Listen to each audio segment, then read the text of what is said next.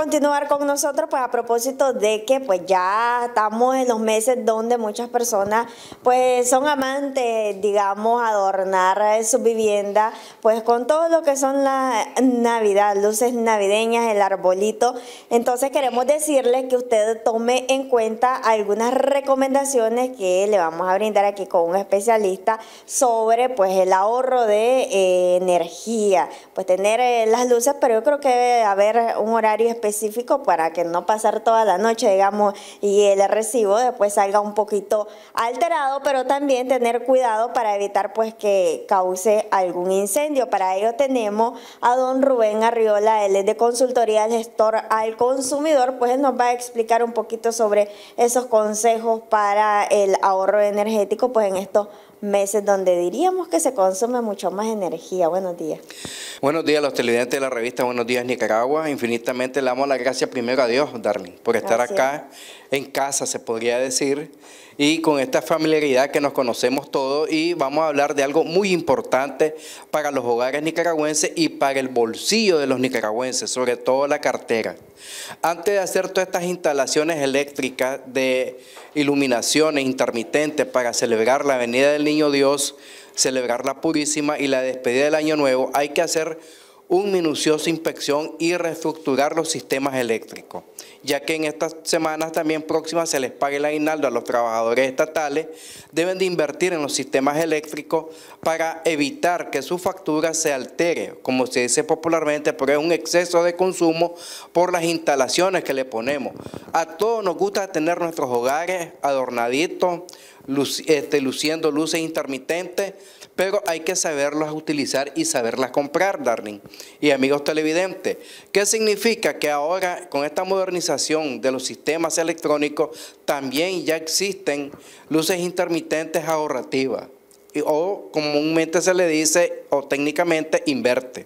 Usted puede comprar estas instalaciones en las diferentes tiendas y ferreterías, inclusive en los mercados populares, y también puede comprar sus regletas especiales para estos trabajos de adornar nuestros hogares.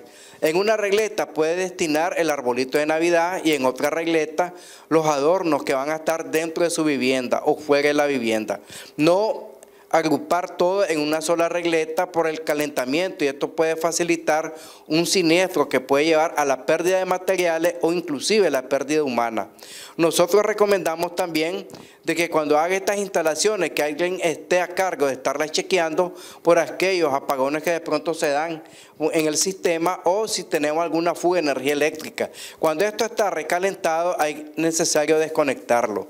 Otra cosa, si las luminarias que usted puso intermitentes alumbran su vivienda, no encender las luces que ya tiene tradicionalmente las de techo, sino alumbrarse con estas luminarias que son bastante buenas y de esta manera está evitando que el exceso de consumo se le dispare en la factura que va a cobrarse en el mes de enero 2024. ¿Se debe saber comprar, digamos, el tipo de luces ahorrativas?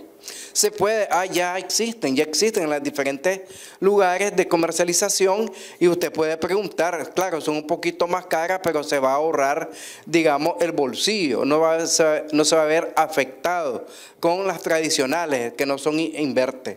Es necesario que también nos eduquemos, ahora que va a estar nuestros niños y adolescentes en los hogares, desconectar todo aquel aparato, especialmente los cargadores de los celulares y de las tablets y las computadoras que quedan conectados. Acordemos que nuestros niños y adolescentes no están con el cuidado de, de ahorrar energía. Ellos conectan y desconectan y salen al patio o salen a, pasear. Entonces es necesario también estar chequeando constantemente que estos cargadores de celulares, tablets, inclusive las computadoras portátiles estén desconectados para evitar que el exceso de consumo se le dispare.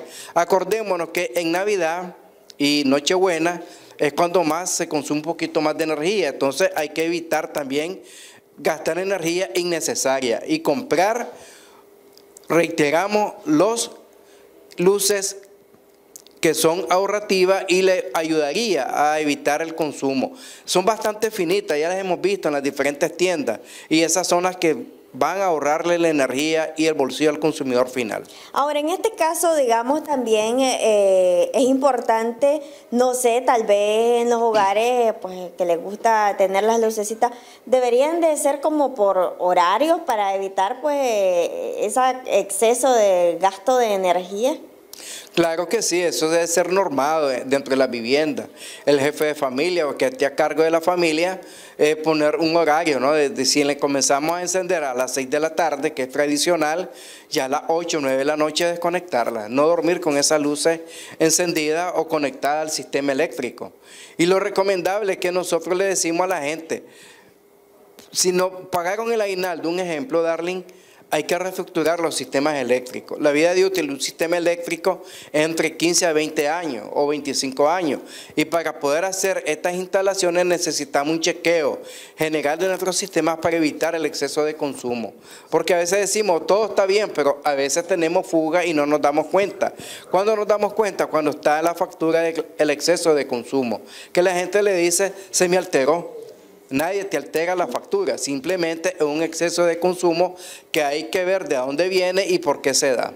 Ahora, don Rubén, en este caso, pues ya usted hablaba del mejoramiento, pero ¿qué es lo que no debe de hacer, digamos, eh, la población para evitar, pues, algún tipo de incidente, algún tipo de incendio que se pueda originar? Podríamos decir como por un recalentamiento. ¿Qué es lo que no deben de hacer en ese momento, tal vez que tenés, pues, tus luces? Mira, la mayoría de las viviendas que hemos chequeado en consultoría sobre el consumidor no tienen el polo a tierra.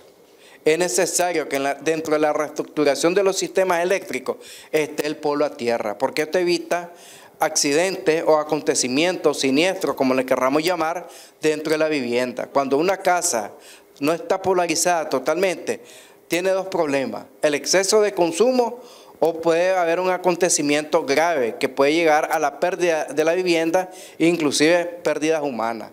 Es necesario polarizar todos los sistemas eléctricos hasta el último rincón de la casa para evitar nuestros problemas en un futuro no muy lejano. Hay que invertir un poco, claro. Eh, todo sistema eléctrico es caro, pero te está salvando la vida y te está salvando la economía. Ahora, en este caso, digamos, esa selección, por ejemplo, baja o estás viendo televisión, eh, puedes conectar ahí mismo las luces o debería ser eh, aparte, como usted decía anteriormente ver televisión de cierto modo, conectarlo en un lugar y las luces en otro lado para evitar estas situaciones. Sí, por eso nosotros hablamos de unas regletas que hay también ahorrativas este, y de esta manera usted puede conectar, pero de una manera muy educada, no conectar todos los aparatos en una sola regleta porque puede surgir un recalentamiento, hay regletas que no son de buena calidad y esto puede ocasionar un siniestro. Hay que hacer a conexiones aparte, repetimos el arbolito de Navidad, las instalaciones que adornan la vivienda, destinar lugares especiales para evitar, digamos, un recalentamiento por conexiones, porque se da. Cuando usted tiene un toma corriente y sabe que está muy caliente, darlo a chequear es necesario buscar un técnico certificado o cuando los apagadores de las luminarias internas de nuestra vivienda están demasiadamente calientes, hay que chequearlo, porque puede hacer que tengamos malas conexiones o el sistema ya te está pidiendo un cambio necesario. Y a propósito del cambio, del mejoramiento, ¿qué es lo que, digamos, la persona necesita? Por ejemplo, pues ya decía 12, 13 años, si no me equivoco, ¿así es? Eh, más o menos un sistema eléctrico tiene vida útil, este, estimados televidentes y Darling, entre 15 a 25 años. En este caso, digamos, para las personas que tal vez no han hecho ese tipo de cambio, ¿qué es lo que requiere? ¿Qué es lo que necesita más o menos un presupuesto que esta persona eh, pueda necesitar para hacer ese cambio? Sí, buscar a la persona indicada, certificada, que le haga un presupuesto, cuánto va a gastar en el cable, en el cableado, el polo a tierra, la caja de breaker. Los breakers tienen que ser entre 25 a 20 amperios. Eh, y, destinar, digamos, y seccionar todo el sistema eléctrico. Esto lo puede hacer un electricista especializado en la materia y de esta manera usted va a invertir para ahorrar y va a invertir para el futuro poco se pone en práctica o se implementan estos tipos de cambios, digamos, podría ser por problemas económicos, falta, digamos, de educación o de conocimiento sobre estos temas? Mira, la mayoría de las veces es por falta de conocimiento o de manera de que, porque nunca me daba problema eh, la queja que hemos recibido. Este sistema yo lo hice hace tantos años, me lo hicieron, pero la vida útil ya le está pidiendo, como decimos popularmente, cacao. Entonces ahí vienen los problemas, pero antes no me daba problema, señor. Entonces hay que hacer un chequeo constante de los sistemas eléctricos, tanto modernos como antiguos. La mayoría de las viviendas en los diferentes barrios de la ciudad capital tienen obsoletos los sistemas eléctricos y la gente no se preocupa por invertir y es necesaria la inversión en los sistemas eléctricos para evitarnos que la factura nos salga, como decimos popularmente, alterada. Aquí nadie te altera la factura, sino el exceso de consumo se dispara considerablemente. Ahora, digamos, también el tipo de cable tiene que ver en esto, en los cambios. Claro que sí, Darling. El cable apropiado para estas condiciones está el AW número 12 multifilar que ocupan los, electricistas porque es más fácil de trabajar y está el cable AW número 2, el sólido. Y el polo a tierra debe estar de, de de 3 octavos con su cable número 8, especial para un polo a tierra. Interesante esto pues para, digamos, eh, las familias que pues están interesados todos los años pues ponen esas lucecitas. Hay que hacer esa revisión para evitar esos incendios. ¿Se han registrado en ocasiones o en años atrás, pues se han registrado casos sobre esto, don Rubén.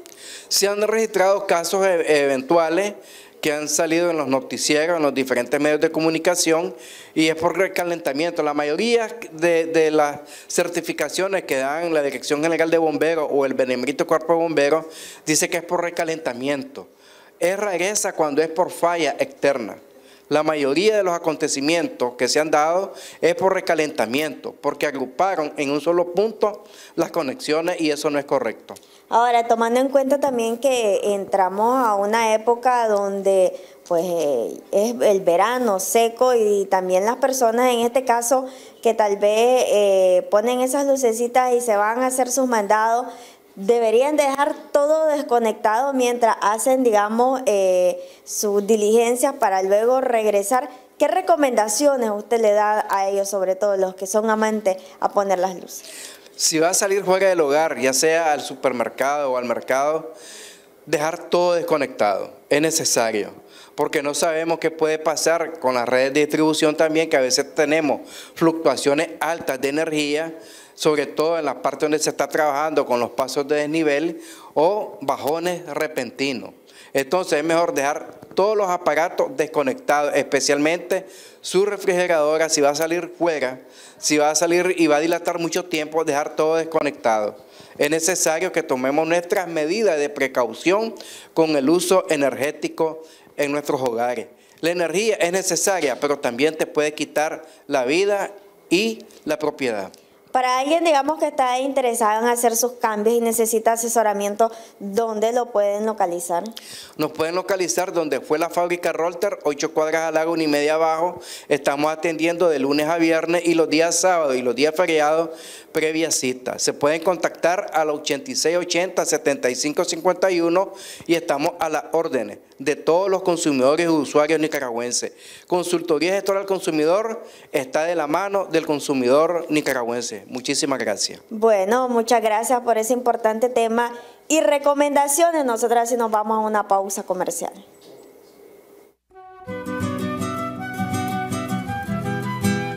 Reconocimientos denuncias, quejas y sugerencias, envíelas a Canal 12, programa Buenos Días Nicaragua, Residencial Bolonia, o llámanos a los teléfonos 2266-0691, 2266-9983, 2266-9984. Escríbanos a nuestro correo electrónico canal12 arroba canal12.com.ni Redes sociales, Facebook Noticias 12 Nicaragua, YouTube, Canal 12 Nicaragua, Twitter, arroba Canal 12 Nic. Visita nuestro sitio web www.canal12.com.ni.